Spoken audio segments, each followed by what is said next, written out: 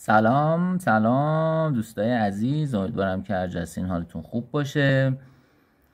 آقا یه سری محدودیت هایی توی آیفون هست که با توجه به خیلی خوب بودن سیستم عاملش و به هر حال لاکچری بودنش و روون بودنش و پرچمدار بودنش این محدودیت ها همه رو اذیت می‌کنه. یکی از اونها اینه که نمی‌تونی هر موزیکی هر رینگتونی رو بخوای برای زنگ گوشید انتخاب کنی. خیلی محدودیت داره.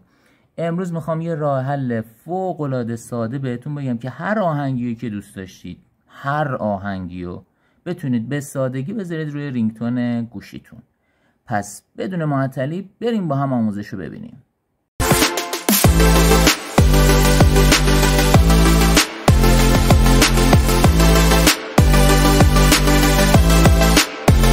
که حالتون خوب باشه. در ویدیوی امشب می‌خوایم به شما آموزش بدیم که چطور می‌تونید هر آهنگی که بخواین رو به عنوان زنگ آیفون قرار بدید. برای این کار اول از همه لازم هست تا app Ringtone Maker و GarageBand رو دانلود و نصب کنید. وقتی app رو باز کردین روی علامت مثبت بزنید. در اینجا شما می‌تونید از قسمت های مختلف موزیکی که مد نظرتون هست رو انتخاب و اضافه کنید. وقتی موزیک رو اضافه کردید حالا می‌تونید به راحتی اون رو edit کنید. فقط کافیه تا روی اون ضربه بزنید. با زدن روی گزینه clip می‌تونید به راحتی آهنگتون رو edit کنید. طول موزیک و ابتدا و انتهای اون رو تغییر بدید. همینطور می‌تونید برای جذابتر شدن ringtone از گزینه های fade in و fade out هم استفاده کنید. وقتی edit هایی که خواستین رو انجام دادید کافیه تا روی done بزنید تا موزیکی که edit کردید ذخیره بشه. وقتی آهنگی که edit کردید ذخیره شد می‌تونید هر اسمی رو برای اون انتخاب کنید. فقط کافیه تا روی اون ضربه بزنید و rename رو انتخاب کنید. وقتی تمام edit هایی که خواستین رو انجام دادید کافیه تا روی گزینه make بزنید. و در صفحه share هم کافیه تا app GarageBand رو انتخاب کنید.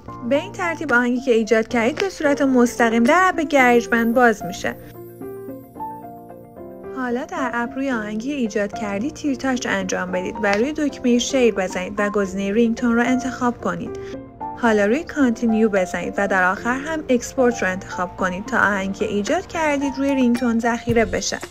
حالا دیگه کافیه در setting به sound haptics برید و روی ringtone بزنید.